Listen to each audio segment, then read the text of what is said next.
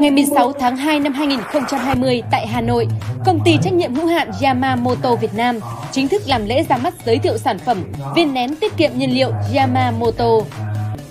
Sau hơn 7 năm nghiên cứu, thu thập đánh giá từ người tiêu dùng và kết hợp với các điều kiện an toàn sản phẩm,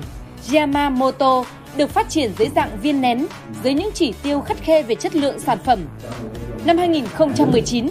Yamamoto chính thức ra đời với khả năng nổi bật là sản phẩm công nghệ sinh học, an toàn với con người, bảo vệ động cơ và thân thiện với môi trường. Viên nén Yamamoto được sản xuất dựa trên công nghệ tiên tiến về sinh học qua nhiều quá trình nghiên cứu về dầu cọ. Công nghệ này mang lại sự xử lý nguyên tử xăng phân tách, tăng tuổi thọ, làm giảm chi phí vệ sinh buồng đốt, bảo trì động cơ một cách thông minh.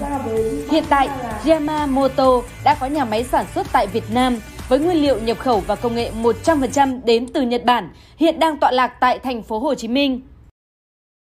Với sản phẩm uh, Yamamoto thì là viên nén của uh, chúng tôi được sản xuất 100% là từ dầu cọ. À, công năng đầu tiên hết là sẽ giúp cho các phân tử xăng sẽ được đốt cháy hoàn toàn ở trong buồng đốt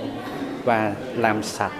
muội carbon ở trong cái quá trình xe máy sử dụng lâu ngày thì nó sẽ có một cái lớp muội carbon nó sẽ giúp cho cái lớp bụi carbon này được sạch đi